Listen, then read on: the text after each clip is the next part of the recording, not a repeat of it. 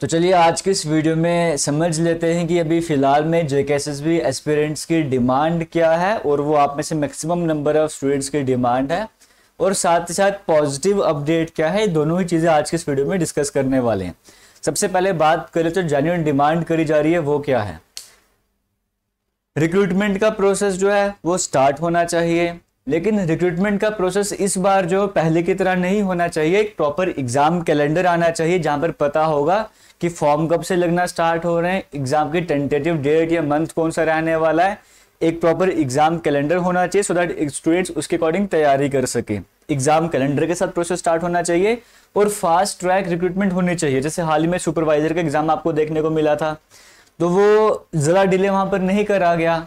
तो अभी रिज़ल्ट भी जल्दी वहाँ पर आ जाएगा। तो इसी तरह से जो प्रोसेस है वो आगे कंटिन्यू होना चाहिए। फास्ट ट्रैक में से भी और फास्ट वे में रिक्रूटमेंट का प्रोसेस कंप्लीट होना चाहिए। सबसे पहले डिमांड तो ये है कि रिक्रूटमेंट का प्रोसेस स्टार्ट होना चाहिए। काफ़ी समय से बच्चे जो है वैकेंसीज का वेट कर रहे हैं। जो एग्ज़ाम हो भी रहे हैं, वो ऐसी वैकेंसीज के हो रहे हैं जो दो साल, तीन साल पहले एडवर्टाइज करी गई थी। Maximum number of ninety percent तो वही एग्ज़ाम हो रहे हैं।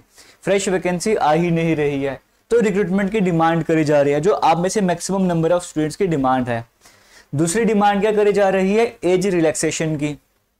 अगर हम बात करेंगे जो आने वाली वैकेंसीज हैं, उसमें जम्मू कश्मीर पुलिस कांस्टेबल की vacancies four thousand twenty two के आसपास वैकेंसीज बताई जा रही हैं। सब इंस्पेक्टर की सेवन फिफ्टी टू के आसपास वैकेंसीज हैं। यहाँ पर एज रिलैक्सेशन की डिमांड करी जा रही है।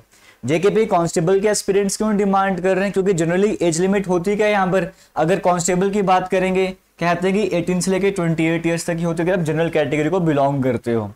लेकिन यहाँ पर देखा जाए, जेकेपी कांस्टेबल की जो रिक्रूटमेंट हुई थी, अगर 2019 वाली अगर हम बात करें, वो बॉर्डर बटालियन या वुमेन बटालियन की बात करें स्पेशली अगर हम बॉर्डर बटालियन की ही बात कर रहे हैं तो वहाँ पर सभी डिस्ट्रिक्ट के लड़के अप्लाई नहीं कर सकते थे तो एक तरीके से देखा जाए तो प्रॉपर रिक्रूटमेंट का प्रोसेस नहीं था। वो सिर्फ़ बॉर्डर बटालियन थी, जब बॉर्डर के कुछ, एक किलोमीटर, कुछ किलोमीटर का डिस्टेंस कवर करा था, वहाँ तक के बच्चे ही अप्लाई कर सकते थे।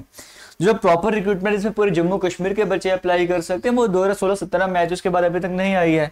तो इसीलिए बच्चे डिमांड करे कि हमने तो अभी तक एक बार भी पार्टिसिपेट नहीं करा और कई सारों को तो एज ऑलरेडी निकल जा चुकी है। इसीलिए वो एज रिलैक्सेशन की डिमांड कर रहे हैं। तो यहाँ पर जो एज रिलैक्सेशन है, वो इस बार के लिए कम से कम 18 से लेकर 32 ईयर्स तक होनी ही चाहिए। कुछ बच्चे 30 तक की भी डिमांड कर रहे हैं, क्योंकि उनका कहना है कि हम 30 के हो चुके 29 के हो चुके 30 तक एज लिमिट होनी चाहिए। लेकिन मेरा तो मानना है कि अभी फ़िलहाल जो एज लिमिट इस बार मिलनी चाहिए, वो 18 से लेकर 32 ईयर्स तक की मिलनी चाहिए जनरल कैटेगरी वालों को।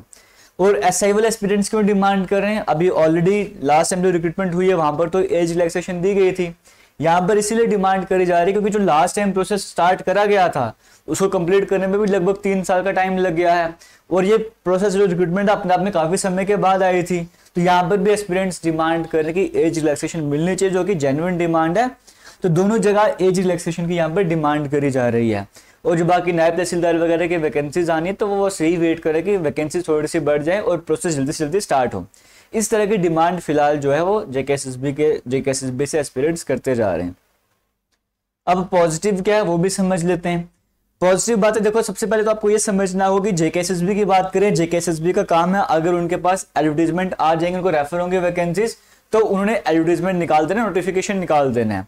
जब उनको वैकेंसीज रेफर नहीं होंगे तो वो एडवर्टीजमेंट कहाँ से आउट कर देंगे ना? उनका काम है रिक्रूटमेंट को एडवर्टाइज वगैरह करना बट उनको पहले वैकेंसीज रेफर होनी चाहिए। और आप सभी को पता है वैकेंसी जो रेफर हुई थी, वो विड्रॉ कर दी गई थी। बट अच्छा अपडेट ये कि जुलाई एंडिंग में या अगस्त में आपके लिए जो वैकेंसीज है, वो आना स्टार्ट हो जाएँगी। पूरी उम्मीद ये करी जा रही है। तो ज़्यादा टाइम आपके पास नहीं रहा है कि आप बोलोगे हमें ज़्यादा डिले ज़्यादा वेट करना पड़ेगा।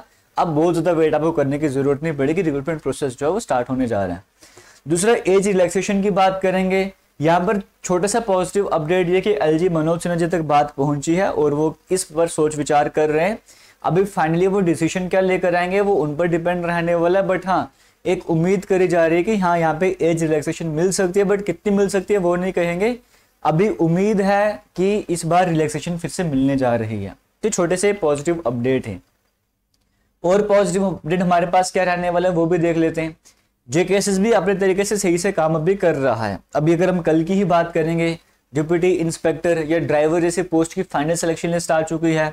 उससे पहले अगर हम बात करेंगे स्टॉक असिस्टेंट वेटरनरी फार्मासिस्ट की सिलेक्शन लिस्ट आ गई। साथ ही साथ अभी हाल ही में जो ए, टाइपिंग टेस्ट या स्टेनो टेस्ट वगैरह होने वाले उसके एडमिट कार्ड का नोटिस आ चुका है।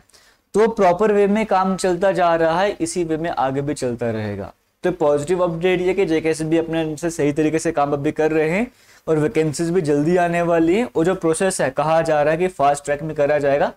उम्मीद करते हैं जो फास्ट ट्रैक का मतलब होता है उसी तरीके से करा जाए। अगर उसी तरीके से हो गया तो आपको तैयारी के लिए आप ये मत सोचिए कि जब वैकेंसीज फॉर्म आएँगे, उसके बाद आपको ज़्यादा टाइम मिलने वाला है। ज़्यादा टाइम आपको तब नहीं मिलने वाला है तो आपको आज से तैयारी करनी होगी। अब आप में से मैक्सिमम स्टूडेंट्स ऐसे तो जो कहते हैं कि फॉर्म लगेंगे तभी तैयारी करेंगे। और जब नोटिफिकेशन आ जाता है स्टार्टिंग दस से पंद्रह दिन पढ़ना है, फिर उसके बाद क्या होता है कि अभी तो एग्ज़ाम का पता ही नहीं, जब एग्ज़ाम होगा तब पढ़ना स्टार्ट करेंगे। तो वो प्रोसेस ऐसे ही चलता रहता है। तो आपके लिए एक और पॉजिटिव अपडेट ये कि अगर आपको ग्रेजुएट लेवल के एग्ज़ाम की तैयारी करनी है एस एस सीजल की वैकेंसीज आ चुकी हैं, जहाँ पर अगर आप ग्रेजुएट लेवल के हो तो आप यहाँ पर अप्लाई कर सकते हो। बेनिफिट क्या है? एक तो देखो अप्लाई करने में हंड्रेड रुपीज़ पेमेंट करनी पड़ती है, वो भी कैटेगरी तो वो भी पेमेंट करने की ज़रूरत आपको नहीं पड़ती है। एज लिमिट 18 से लेकर 28 भी है 18 से 30 भी है 18 से 32 भी रहने वाली है। तो आप उसके अकॉर्डिंग अप्लाई कर सकते हो। सिलेबस वही है जनरल अवेयरनेस है, आपका रीजनिंग है मैथमेटिक्स है इंग्लिश है, जो आपको एसआई में या बाकी ग्रेजुएट लेवल पोस्ट में कवर करना जेके एस वाला। बस जेके एस में डिफरेंस ये होगा, थोड़ा आपको जम्मू कश्मीर का पोर्शन अलग से पढ़ना पड़ेगा। और जब आप इसका इन डेप्थ पढ़ते हो एस एस का, क्योंकि इसका इन डेप्थ पढ़ना पड़ता है तो उसमें जेके एस आपका कवर हो जाएगा। तो फ़िलहाल मोटिवेशन के तौर पर कि आपको तैयारी करनी है, क्योंकि इसी एग्ज़ाम डेट भी आपके सामने अक्टूबर, नवंबर के मंथ में होती है तो आप उसके हिसाब से तैयारी कर सकते हो। जो टेंथ बेस वाले हैं, वो एमटीएस या हवलदार की तैयारी कर सकते हैं, वो फॉर्म भी लग चुके हैं। एसएससी की मैं बात कर रहा हूँ। तो इससे अच्छी अपॉर्चुनिटी आपको क्या चाहिए? अठारह से लेकर सत्ताईस साल की उम्र है, हवलदार की पोस्ट के लिए अप्लाई करना चाहते हो जनरल वाले। और एम टी अठारह से लेकर पच्चीस तक है। आप डायरेक्टली टेंथ बेस एग्ज़ाम पे, आप डायरेक्ट हवलदार लगने जा रहे हो।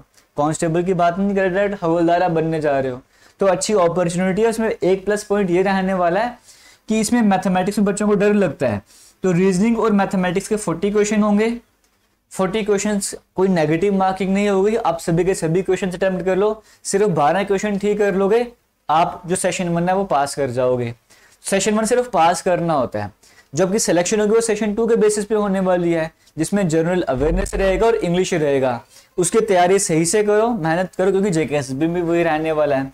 और अगर आप जेकेपी की तैयारी करोगे तो आप जनरल अवेयरनेस कितना इंपॉर्टेंट रोल प्ले करता है, आपको समझ आ रहा होगा। तो आपके लिए अपॉर्चुनिटी है। ये एसएससी की तरफ़ से दो तरह के नोटिफिकेशन है टेंथ पास भी ग्रेजुएट लेवल पे भी आ गए इन सभी के पीडीएफ मैंने शेयर करे हैं टेलीग्राम पे। टेलीग्राम जेके लेटेस्ट इन्फो के नाम से कमेंट सेक्शन में लिंक मिलेगा, वहाँ पे जाके ज्वाइन कर लेना। और फ़िलहाल अगर आपको जेके कांस्टेबल की तैयारी करनी है, इसका कोर्स भी हमारी एप्लीकेशन पे चल रहा है, वहाँ पे जाके आप कोर्स को ज्वाइन करना चाहते हो लाइव कोर्स है, वो भी आप जाके ज्वाइन कर सकते हो। फ़िलहाल आप में से कितने बच्चे ऐसे हैं जो एज रिलैक्सेशन की डिमांड कर रहे हैं? कमेंट सेक्शन में ज़रूर कमेंट कीजिएगा वीडियो को शेयर कीजिएगा। रिक्रूटमेंट का वेट तो सभी कर ही रहे हैं। तो फ़िलहाल वीडियो को एंड करूँगा, जो एक्सपीरियंस की डिमांड थी और क्या पॉजिटिव है, वो मैंने आपसे शेयर करा। मिलेंगे नेक्स्ट वीडियो में किसी अब।